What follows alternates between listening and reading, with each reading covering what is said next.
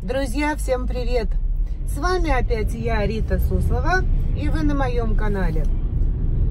Давно я не выпускала видео, что-то была очень занята переездом э, в нашу отремонтированную квартиру и разбором вещей. Ведь мы не только отремонтировали квартиру, но и наши вещи э, стояли все в коробках, в баулах, поскольку мы переехали из Краснодарского края, не были разобраны. Потому что, ну как разбирать, если в квартире ремонт, то есть все наши вещи так и стояли в коробках. Жили мы, э, используя те вещи, которые уместились в два чемоданчика. Жили мы так порядка полутора месяцев. Э, было, не, конечно, не очень комфортно, но вполне себе. Сейчас мы переехали, а, наводили уборку после ремонта и разбирали вещи. Я, наверное, дня три не выходила из дома вообще. То есть постоянно занималась разбором вещей. И оказалось, что у нас так много одежды, что меня уже под вечер тошнило от этой одежды. И мне хотелось взять баул и, не глядя, просто вынести его на помойку. Или вот так вот поставить где-нибудь, пускай забирают. Потому что это просто какое-то засилие вещей, одежды. И, конечно, я кое-что, кое от чего я избавлялась.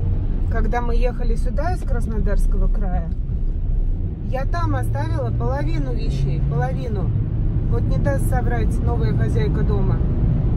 Половину вещей я раздала людям, и половину оставила в доме. Думаю, вдруг людям пригодится. Когда я приехала сюда, я опять избавилась от половины вещей. Слава Богу. Вот, вот хочу вам всем посоветовать. Перебирайте вещи свои. И те вещи, которыми вы не пользуетесь год, я думаю, можно с легкостью от них избавляться. Сняла сегодня я ролик а, из отремонтированной квартиры. И не знаю, какой выставлю вперед. То ли покажу квартиру, то ли вот этот разговорный.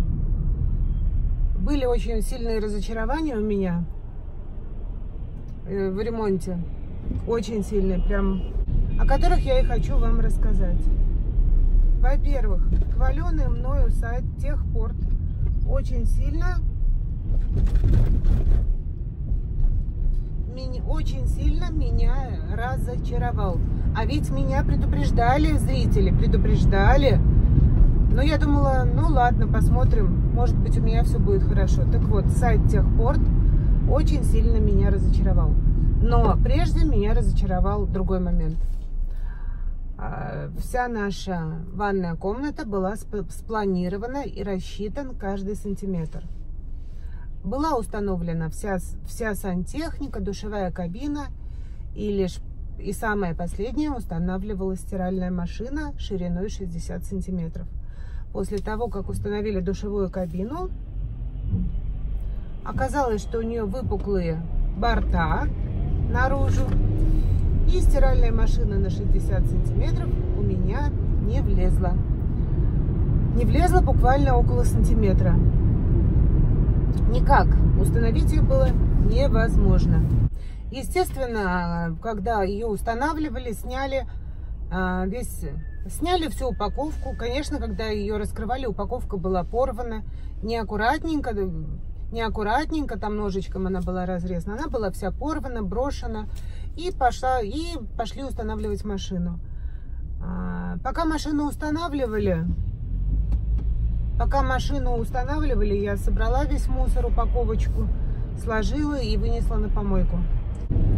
Когда выяснилось, что машина не влезает стиральная, я очень расстроилась, очень сильно расстроилась. Но, тем не менее, у меня были, была надежда на то, что техпорт принят, примет машину обратно либо заменит мне ее на машину других габаритов. Я написала претензию на сайт Техпорт, но внутренний голос мне говорил, что без упаковки они ее навряд ли возьмут. И, может быть, и с упаковкой тоже бы навряд ли взяли. Не знаю.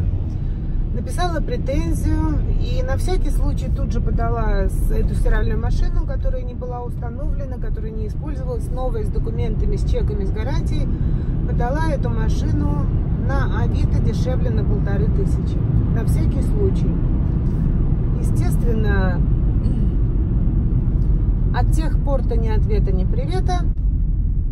А через три дня люди с Авито приехали и купили у меня эту машину. Слава богу, я потеряла только полторы тысячи. Э, но мне пришлось покупать э, машину уже горизонтальной загрузки. Она в два раза дороже. Ну, надеюсь, она прослужит нам дольше. Это первое разочарование. Следующее разочарование – диван. Очень красивый диван, который я выбрала на сайте Техпорт который мне очень понравился. Диван симпатичный, с двумя красивыми гладкими подушками. Мы ждали этот диван, ждали, и вот нам его привезли наконец-то. Мы собрали с Анжеликой этот диван. И что вы думаете? Вместо двух красивых гладких подушек привезли три морщинистые, сшитые сикость-накость, кривые, ужасные подушки. То есть вот эти подушки, это испорчен весь вид. Я бы никогда не купила. Я купила красивый диван с картинки на сайте Техпорт. Мне привезли, как бы это выразиться поприличнее. Мне принесли ужасную вещь. Естественно, я написала претензию на сайт Техпорт. Приложила фотографию дивана, который я у них заказала приложила фотографию дивана, который мне привезли. Диван нормальный. Подушки у меня были две гладкие, красивые, большие. А мне привезли три такие, как три сморчка страшных. Ну, будем наблюдать, как техпорт отреагирует э, на замену дивана. В общем-то, я написала, что мне можно диван не менять, диван меня устраивает. Попросила заменить подушки. Ну, посмотрим, что будет дальше. Буду вас держать в курсе. Следующий неприятный момент. Настолько неприятный... Впереди камера на 60. Следующий неприятный момент. Настолько неприятный, что мне даже говорить о нем тяжело. Очень тяжело. Это просто ужас.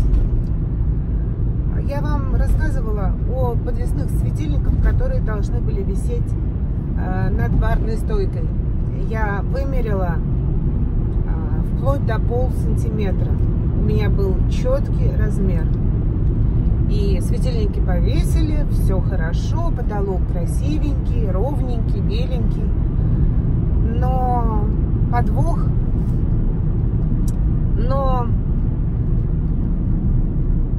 большой казус, но большой казус мы смогли увидеть только тогда, когда установили кухню и саму барную стойку. Мастера перепутали размер – хотя я им четко его оставила, хотя я им четко прописала. И перепутали размер не на 1-2 сантиметра, на что я бы просто закрыла глаза и не стала бы заморачиваться, а перепутали размер на 35 сантиметров. И светильник э, у нас висит не над барной, не посередине барной стойки, а прямо над головой сидящего. Нет слов. Но вроде как удалось связаться с фирмы по изготовлению моих потолков. И мне обещали заменить. И мне обещали выкроить новый и заменить его. Надеюсь, что все будет хорошо. Друзья, что-то я долго не могла выбрать себе чайник для газовой плиты. И сынок сегодня утром принес мне вот такой вот чайник. Это чайник необычный. Сейчас мы включим газ. И посмотрите, как будет меняться рисунок на чайнике.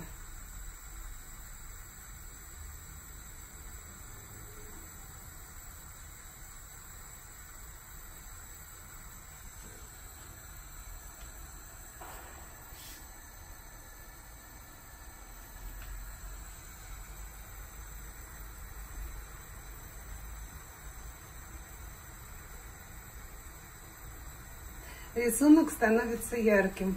Когда я увидела чайник с черным рисунком, что-то я думаю, зачем он такой чайник купил? А когда поняла, в чем фишка этого чайника, то мне он понравился. Необычно и любопытно.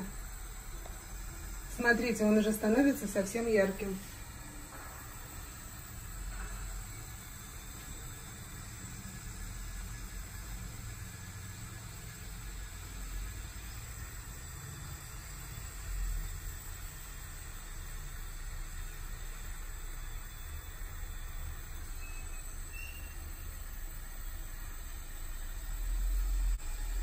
Сейчас закипит. Мой день подходит к концу. И хочу вам показать, какой светильник я купила к себе в спальню.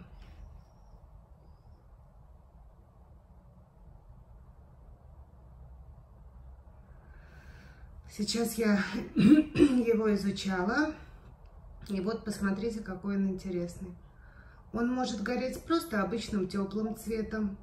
Можно установить так, что будет обычный теплый цвет. Можно сделать поярче, а, либо более тусклый. Можно установить зеленый цвет, розовый, голубой или красный. А можно вот как сейчас сделать так, чтобы он плавно переходил от одного цвета к другому. Прикольный, да, у меня светильник?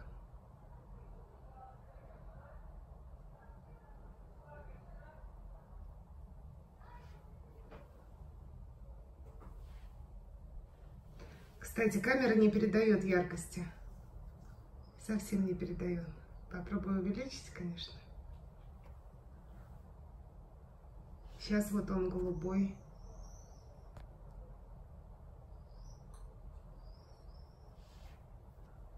Розовый. Розовый какой красивый. Красный.